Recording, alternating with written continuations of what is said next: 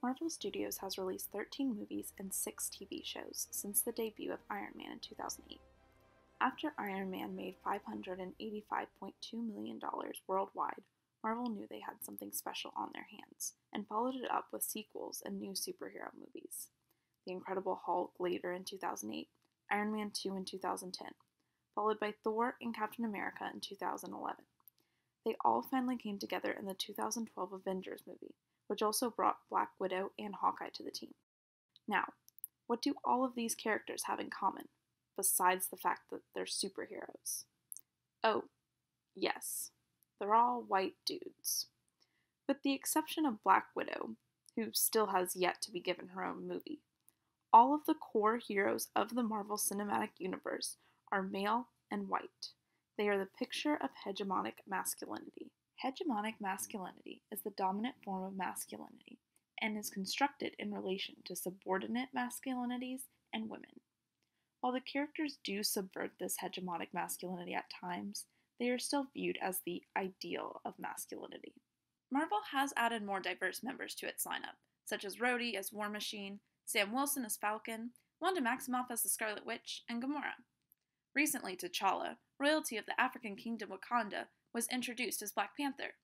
He will be getting his own movie in 2018. He will be the first black superhero to lead a Marvel film. A year later, Marvel will be introducing its first female led superhero movie, Captain Marvel. While this is a first for the movies, Marvel is strides ahead on its TV front. It already has three female led TV shows Smile. a show led by a black superhero and another show led by a blind superhero. In fact, of their six TV shows, only one is led by a typical hegemonic white male hero, and it's the one which has received the worst reviews from both fans and critics. The TV shows are not only years ahead of the movies in terms of representation, but I would argue that they are putting out some of their very best work in the television department.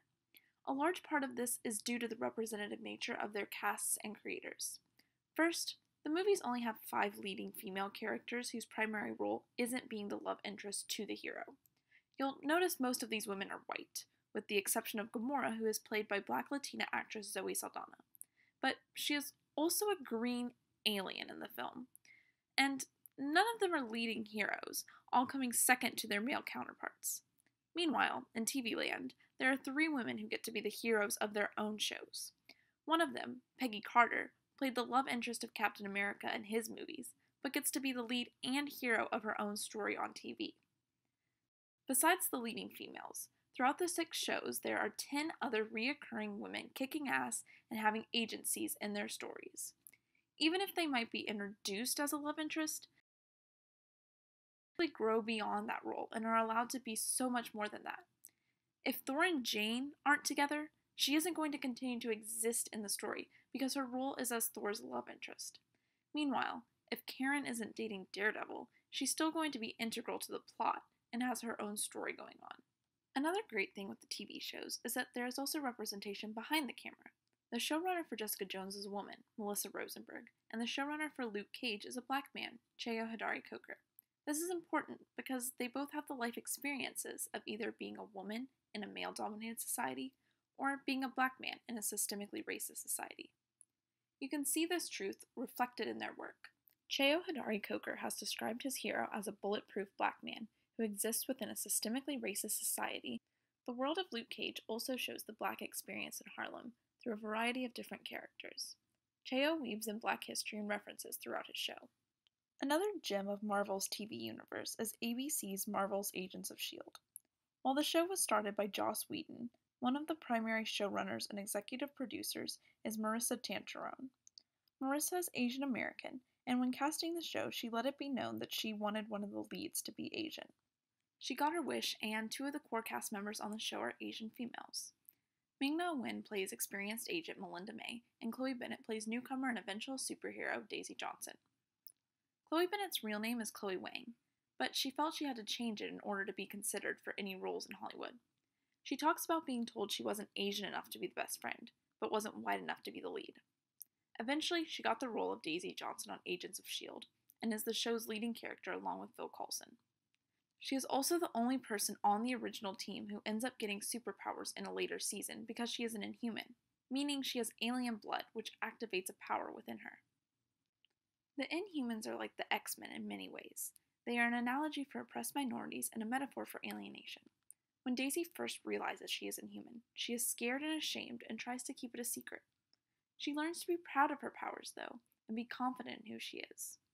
Beyond her personal journey, in the world of Agents of S.H.I.E.L.D., there is a radical hate group called the Watchdogs who track down and kill inhumans because they're scared of them. Sound familiar? The difference is in Agents of S.H.I.E.L.D., most of the inhumans are played by minorities.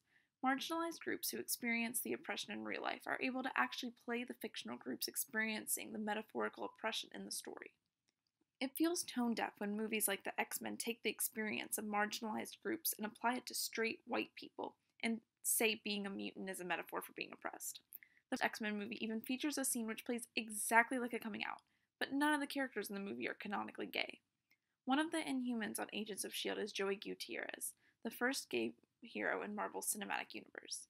And when Daisy explains that he is inhuman and that he will have to keep it a secret because people aren't ready to hear it yet, he says he's had to live with a secret once before and was miserable until he came out with it. The direct comparison of the experience of being inhuman to being gay is what elevates the storyline and makes the metaphor more meaningful than other superhero movies which have attempted the same thing. Part alien.